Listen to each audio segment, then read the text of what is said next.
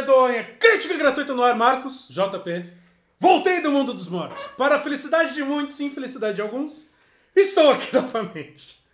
E, cara, que volta. Que volta sensacional. Por quê?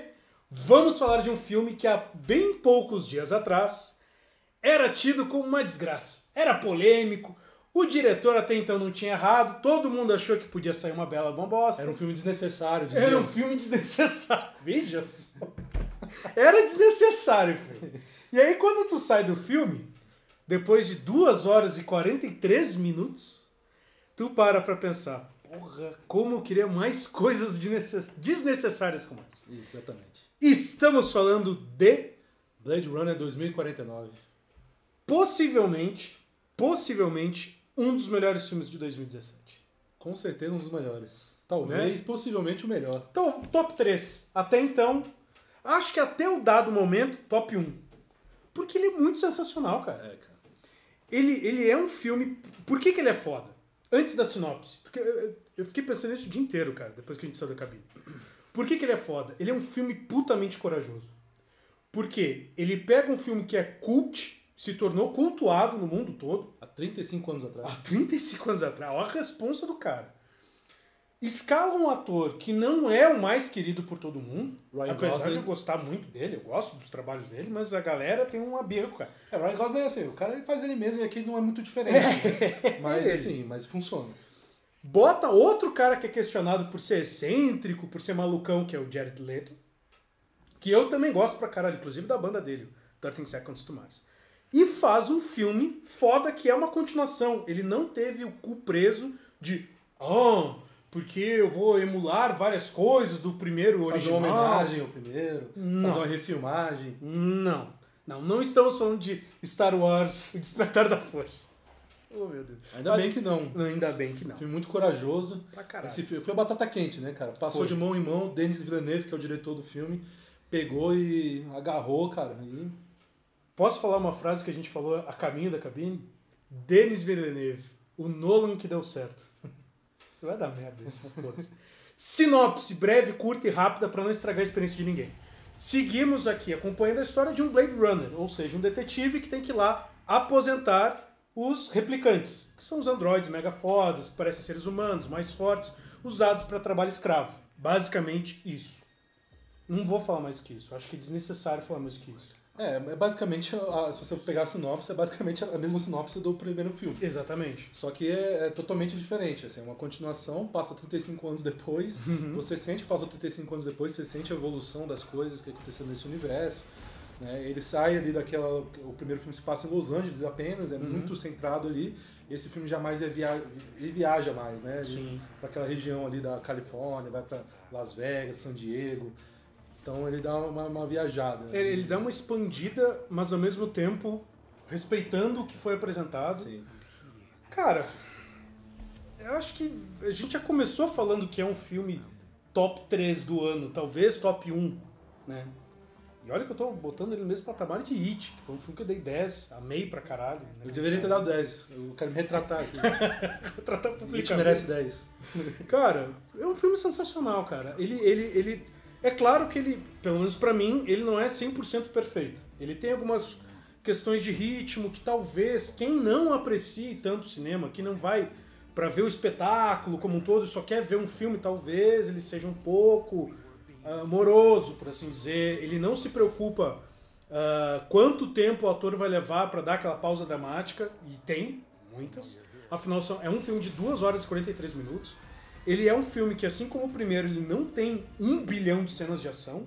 Apesar de que as que tem são muito bem feitas, são muito bem conduzidas. É, é um desbunde visual. Ele é lindo. Ele é minimalista. Perfeito. É, é- é- é escroto, porque tu vê que o filme ele é, ele é gigantesco e ao mesmo tempo ele é um gigantesco tão minimalista que. Sim, é, é- ele é incrível. Ele é incrível, ele é incrível. É, se tu pega o original, assim, ele, ele deixa muita, muitas coisas nas entrelinhas, né, no discurso dele. Assim, é um filme que seria, a, a priori, de um filme de, de ação, né, de ficção científica de ação, só que ele deixa muita, muitas coisas nas entrelinhas, né? Ele tem um ritmo mais pesado, ele tem um clima no ar, inclusive um clima no ar que ele...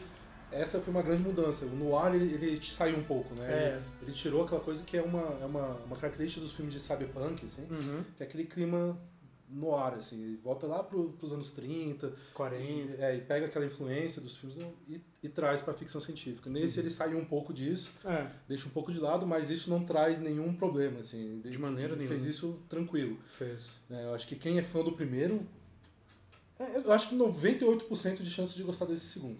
Acho muito difícil a pessoa não gostar. Eu acho que o que você falou é interessante, que por ser um filme longo, e, e ele, é- ele tem essas questões filosóficas mais em, né? Porque assim, já, se o primeiro trazia as coisas nas entrelinhas, esse ele já entrega. Mas isso também é feito de forma muito bem feita. sim, sim. E, e com relação à estética, assim, como ele, ele viaja, é um filme que sai da Los Angeles, vai para cada lugar que ele vai, é uma estética diferente, uma fotografia, filtro diferente. Cara, todos são muito bonitos, todos são Sim, sim. cenários. Às vezes ele entra numa sala que é uma, uma sala que representa uma personagem. Perfeito, cara. Uhum. Todas elas, sabe? Tudo, tudo é bem encaixado, tudo certinho. sim. Né? Eu acho que o- a questão do, dos replicantes também, em termos da história já do Blade Runner, da mitologia do Blade Runner, toma uma outra, é, é, uma outra Proporção, né? proporção que, e, cara, e não é forçado, Não. né? Ele ficou muito bom, o discurso ele é muito bem feito. é, Os personagens secundários eles têm uma vida muito própria, assim. O, o, o primeiro replicante que aparece, o Dave Batista, pra quem não tá associando o nome, é o Drax, do Guardiões da Galáxia. Cara, ele, ele tem três frases e ele é foda. Tipo assim, caralho, que personagem foda. Mas é incrível, os personagens secundários são incríveis, dá vontade de querer conhecer cada um deles. É, e todo mundo muito bem. O Dave Bautista atua bem, né? sim, sim. O, a Robin Wright, como sempre. Uhum. né? O próprio Ryan Gosling, como a gente já falou, ele tá na dele ali, naquela de sempre, mas que funciona, é bem Funciona. encaixado. Harrison Ford também repetindo o papel dele, que também É, tranquilo. É, ele, ele- ele- Gostei mais dele no Blade Runner do que em Star Wars.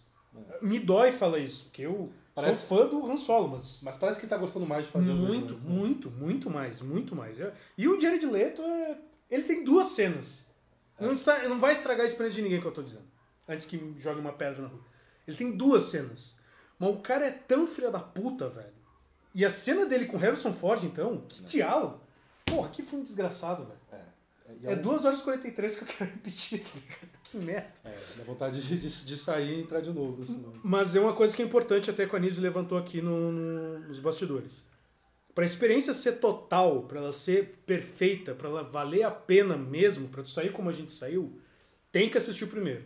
Tem que ter assistido o primeiro. De pre- preferência o Final Cut, que é é a, é a versão de 2007, se eu não me engano, que saiu.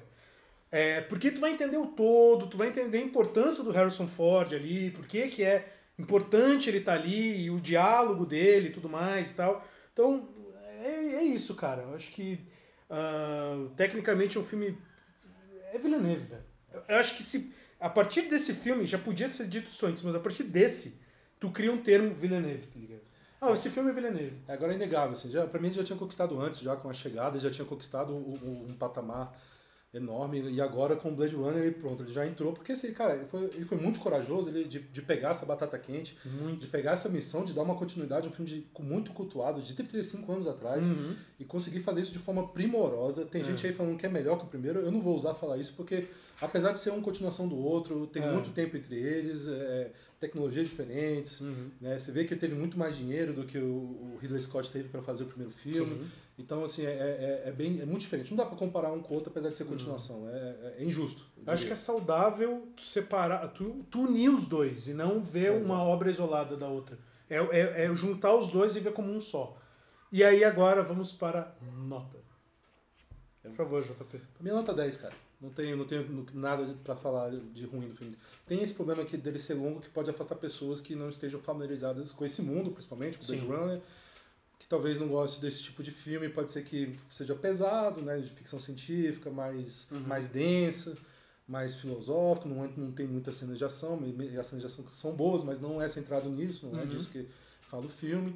É, visualmente o filme é incrível, a, a parte do, do- do- da questão cyberpunk, cara, é demais, assim, Sim. ele, ele- pega o que foi criado lá em Blade Runner, né, que foi praticamente a, a, primeira, a obra que ditou para o cinema o que, que é os, o, O Cyberpunk. o cyberpunk. Uhum. E ele pegou tudo que vai dos 35 anos até aqui, ele pegou todas as influências e conseguiu mesclar, entendeu? A Uhum. gente tem coisas aí que foi feita agora, nesse ano com Ghost in the Shell, por exemplo. Sim, sim. Aquele- aqueles, aqueles hologramas gigantes no meio da cidade e tal, Uhum. Ficou muito bonito in the Shell, ele fez de uma forma muito foda nesse Ficou, filme. ficou muito bom. Muito Ficou foda. Tem uma, tem uma cena de luta, no, no- que, uma cena de ação que, que é bem tranquila, eu nem, eu nem sei se pode ser chamado de cena de ação, que se passa no meio de uns hologramas, naquele bar lá, Sim, que sim. é genial, cara. Que é genial. Sim. Então, assim, cara, é, é, foi um, dele- é um deleite, assim, é, e é, é esperança. Quando você vê agora vai fazer uma continuação de um filme das antigas, cara, é, dá esperança. Você fala, cara, pode ser sim. uma coisa boa, cara. Pode, pode. Se pode. saiu, se Blade Runner conseguiu fazer uma coisa boa, qualquer filme pode ser uma coisa, Sim. pode ter uma, uma, uma continuidade boa, uma refilmagem Uhum. boa, né? É. Cara, eu acho assim. Minha nota vai ser 9,5. Muito por conta de que tem alguns momentos que eu acho que ele poderia ter dado um pouco uma acelerada. Acho que a partir do momento que o Harrison Ford ele entra, ele, ele dá uma quebra no ritmo, ele acelera um pouco e, as- e aquela batalha final, ela me incomodou um pouco. Não sei se foi por conta de como ela foi filmada, não sei. Mas é que aqui tem muito sentimento de quem ama o primeiro filme. Né? O primeiro filme pra mim é nota 10. Tipo, eu amo Cyberpunk. Né? Então, assim, não é criticando o Villeneuve, não é criticando a obra como um todo, mas eu acho que pra ser 10, podia ter cortado algumas coisinhas, que é basicamente isso. Assim, é, podia ter ganhado um pouco de ritmo e ter aproveitado um pouco melhor esses dois, 2 horas e 43 minutos, que é muito tempo. É muito. Eu saí cansado do cinema, não porque, ah, o filme, isso. aquilo. Não, porque, porra, é 2 horas e 43 minutos, a gente pega a cabine 10 horas da manhã, então, assim, a gente saiu já era quase uma hora da tarde. Mas, cara, é um, é um desbunde, é um deleite. Se tu gosta de ficção científica, é obrigatório. É um filme obrigatório, tu não pode deixar de assistir. Pra quem gosta de Cyberpunk, ele é um. Ele, é- ele, é- ele agrega o pilar do que é o Blade Runner. E deixando já, fazendo a deixa aqui, vamos lançar uma lista agora, na sexta-feira, no máximo sábado, de filmes cyberpunk. Para que vocês que não conhecem, pô, caiu nesse vídeo aqui, pô, porra de cyberpunk, ficção científica, caralho, é 4, não sei o quê, vai assistir a lista, vai entender o que é cyberpunk e por que esse gênero é tão foda, influencia a tua vida tecnológica e tudo mais hoje em dia. É isso? É isso. Feito? Feito, gurizada medonha. Muitíssimo obrigado por acompanhar a gente aqui. Beijo, abraço, tchau e fomos. Tchau, tchau, Cláudia. Tchau, Anísio. Tchau.